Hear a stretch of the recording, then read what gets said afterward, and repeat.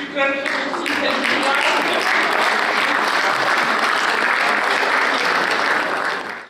السلام عليكم ورحمة الله وبركاته. آه، مش هطول عليكم يعني هي خمس دقايق أو ست دقايق كتير وكل كل اللي واقفين والدكتور صالح والناس اتفضلوا خمس دقايق بالظبط. عايزة آه، أقول لكم على آه، كل المحاضرين اللي كانوا متواجدين النهارده في الملتقى. هو بيجي ويقف هنا ورا ال stand صح كده؟ وبعدين يتكلم دقيقة دقيقة ونص ولا محاضر وبعدين يجي لكم كده. إيه اللي حصل؟ اللي حصل ان كل محاضر ده ال stand اللي هيقول عليه أو عشان يعمل أو معاه أو هيقعد هنا للأسئلة. ليه؟ طلع ورا الستاند وجه يخاطب الجمهور مباشرة. ليه أيوه عشان التواصل. وده حاجز صح كده؟ وعلشان أنا اما احب اتواصل مع حد. وتبقى آخر جملة في الشريحة قلبي منور وبيتي متزن لازم أبقى واضح. لازم احتياجاتي وكلامي واموري ومطالبي من الآخر واضحه مش متداريه مش من ورا حاجز وده اللي بيحصل في البيوت ما في استشاري طلع على خشبة المسرح النهارده واتكلم في معنى من معاني الإدارية السلوكية أمور العلاقات المهارات اللي كلموها كل المحاضرين. إلا وفيها حاجة واحدة بس عبر عن نفسك صح. قول احتياجك قول اهتماماتك. الخزعبلات الإعلامية اللي في الأفلام والمسلسلات عشان يغيروا عندنا وعي. ده عالمي على فكرة. تغيير وعي ما بيتطلبش المفروض يفهم؟ المفروض ي... مين اللي قال؟ بيشموش هم على ظهر ايدهم لما شفنا المحاضرة بتاعت خصائص مخ الرجل إزاي بيفكر الرجال؟ إزاي بيفكر النساء؟ لا تقل عن 12 ساعة تدريب.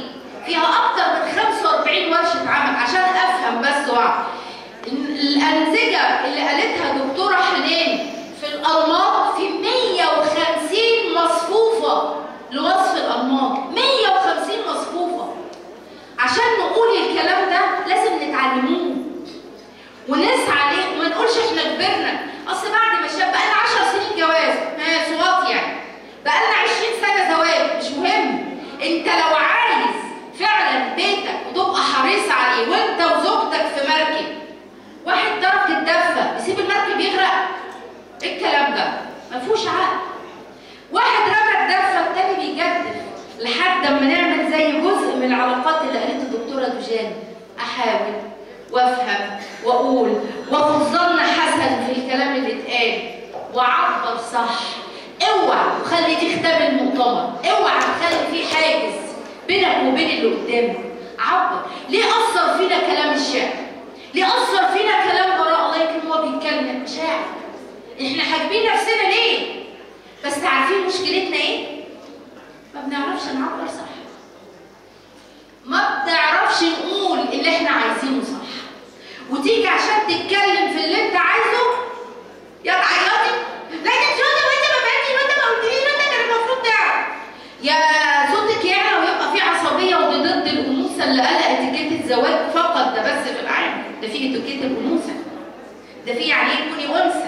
دورة كبيرة سحر الانوثه ويجي الراجل اعمل ساعة لما ها يا أم مخبط يا مزعل ساب البيت وماشي ده يعني ده أقل تصرف ممكن إحنا ما بنعرفش نعبر صح ولازم نعترف بكده. ودي وده الخطوة اللي جاية بعد كده. أنا لما أحب أتعامل مع الآخر بمنظومة العلاقات أو بالعشر قواعد اللي قالتهم دكتوره حنان أو بكل المواسير اللي قالوها كل المستشارين أعرف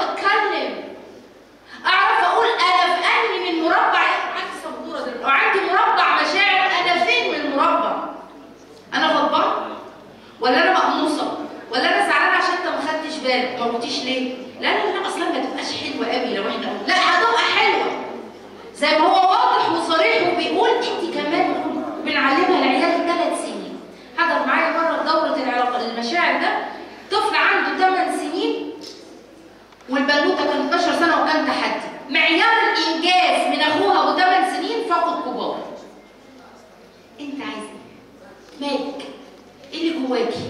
وده اللي إحنا بنقوله عمر بيتي ما هيبقى متسم إلا لو كان قلبي شايف بإدراك واعي حقيقي تتغير عليه المشاعر فافهم صح فتبقى العلاقة واحد اتنين. بيج بوم اداني أدي الإرسال وأدي الاستقبال جيد فتبتدي الجوارح تنفذ. ده اللي إحنا عايزينه.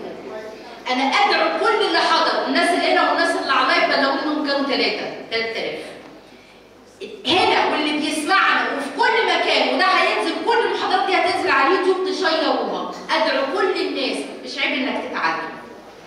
مش عيب إن إحنا ناخد دورات من أول وجديد. مش عيب إن أنا أعرف أتعامل مع ابني اللي خذلته إزاي. مش عيب. الدكتور اتكلم عن التربية كلنا موجوعين كلنا موجوعين مش عيب إن أنا أصلح. أنا أفضل. أنا آسفة قوي معلش. وأصلح. لا مش عيب لما انت تتعلم تشكر زوجتك وتدعمها وتسمعها وتقول مش عيب كتر خير شكرا يا ست الكل إيه ده عامله قطتين هنا ده ممتاز جدا احسن من دين الحصان يلا اي حاجة أو ما لازم يقولوا ونتعلم إن إحنا نقول كان بيسميها الحميراء ده وصف وصف صريح. ليش عشان كانت بيضة ولما تتحرك وتضحك الدم يبقى حلو. حميراء كان بيقول عليها كده. كانت تفرح من حب من أعطيتها الدرهم. كلهم أعطيهم الدرهم. صلى الله عليه وسلم. فعشان أفهم أتعلم. أنا بدعوكم من المنبر ده. شوفوا دورات اتزان أنا لسه بكلم منيرة بقول لها بصي أنتوا أي دورة هتعملها هخش معاكم زوم. ده عشان روح اتعلم واسمع وشوف واقرأ. واليوتيوب مليان. بس اختار الثقة المؤتمن اللي له مرجعية ويرجع صيته. لسه كنت بقول لبراء ماذا بينك وبين الله يا دكتور محمد رشيد حتى يبقى ارثك إلى وقتنا هذا أنا عرفته بمقطع على جروبات الواتس عندنا في اسطنبول. يعني بيشيروه كمان مش مش مصري يعني أنا مصرية بس مش عايزة في مصر بقالي 8 سنين جروبات العرب آه، في اسطنبول على الواتس الفيديو معدي أكتر من مش عارفة 18 مليون. إيه؟ إيه؟ هو ده الخير. نتعلم نحضن أولادنا ونتعلم إزاي احضان 12 نوع من أنواع الأحضان. تعرف عنهم إيه؟ صفر. محدش يجاوب. في 27 نوع من أنواع القبل. ما بين ال- الأب والابن عشان نتكلم على حتة النساء. تعرفوا عنهم إيه؟ في كلمات للدعوه في رد دبلوماسي بيتقال في خطاب جماهيري لو أنا وسط عيالي وعايزة أخص حد ليه مش متعلمين الكلام ده؟ إحنا فين فين الكلام؟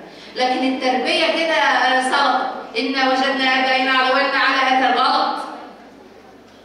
العرف بما لا يناقض شرع على عيني وعلى راسي لكن هو كده ما إذا ربونا مش لا ربنا وبقينا زي الفل. أيوه بس بعقل يجي لي شاب 22 سنة وبنت لسه اولى جامعه وثانيه جامعه وتقول لي أنا عندي بوادر اكتئاب واستغفر الله بفكر في انهاء الحياة دي شبتي يا 20 سنه شفتي إيه؟ مخزوله مكسوره دي تقابل الحياة إزاي؟ مش عيب ان إحنا نتعلم ادعو الله سبحانه وتعالى طبعا نرجع للمحاضره بتاعت الصبح ادعو الله سبحانه وتعالى يجعله جمع مبارك ادعو الله سبحانه اجعلها مثل الخير وبداية خير اللهم آمين. ويبلغ يا رب كل كلمة طيبة اتقالت النهارده أفاق ويفتح لها القلوب. جزاكم الله خيرا. سبحانك اللهم وبحمدك.